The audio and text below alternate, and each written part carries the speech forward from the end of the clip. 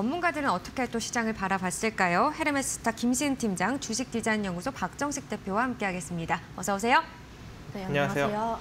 네, 김시은 팀장님 어떤 종목부터 확인할까요? 네, 석 탄 관련주인 GS 글로벌 가지고 와봤습니다. 여름철 수요 증, 전력 수요 증가에 아시아 석탄 가격이 역대 최고치를 기록을 했는데 그에 따라서 상승 추세를 그리고 있습니다. 아무래도 호주 석탄 현물 가격이 400달러를 돌파했는데 이 같은 경우에는 처음 있는 일이라고 할 수가 있겠고요. 석탄 가격 같은 경우에는 더 오를 가능성이 나타나고 있습니다. 전 세계적으로 탈탄소 기조가 나타나고 있는데 에너지 가격 상승세가 나타나고 있다 보니까 석탄의 재가 동 흐름이 나타나고 있고요. 그에 따라서 유럽 내에서 석유나 가스 공급 부족에 따라서 석탄을 다시 음, 사용하는 움직임이 나타나고 있습니다. 어, 그 시작은 독일이 먼저 스타트를 끊었다고 할 수가 있겠는데 우리나라나 뭐 일본 같은 경우에도 여름철 전력 사용이 성수기다 보니까 그에 따른 영향도 나타나고 있고요.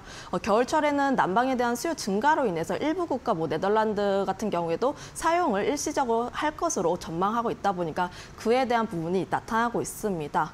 어, GS 글로벌 같은 경우에는 뭐 상사 기업이라고 할 수가 있겠는데 철강이나 석유 그리고 석탄 같은 원자재를 주력을 하고 있습니다.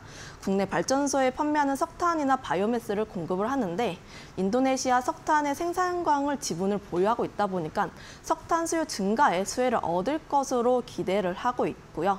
일단 차트적으로 한번 봤을 때 21선을 돌파를 하는 움직임이 나타났지만 어, 매물대에 걸리게 되면서 윗골이 길게 나오고 음봉을 전환을 했습니다.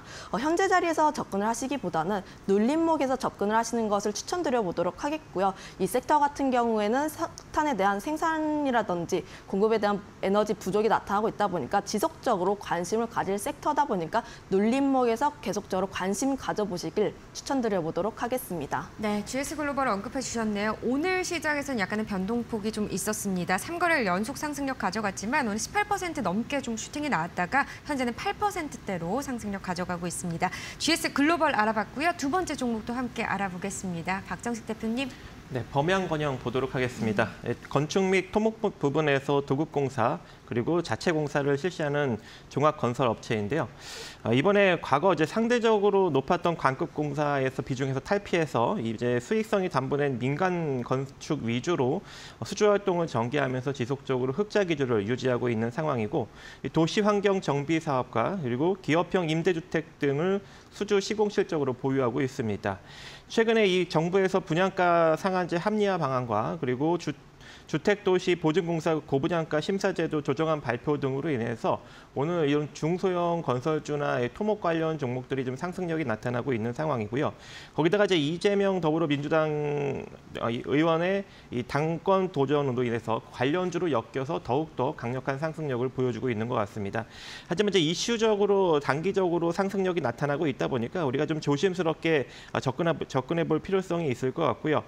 어, 현재 어, 보유하고 계신 분 들은 4,250원 자리가 이탈되지 않는 선에서 조금 더 홀딩 유지해 가시면서 5,200원 정도 자리까지 바라볼 수 있는 여력은 존재하지만 4,250원 이하로 만약에 꺾이게 된다면 다시금 조금 더 약세 국면 내지는 횡보 국면으로 갈 수 있으니 그 점 유의하셔서 접근하시기 바라겠습니다.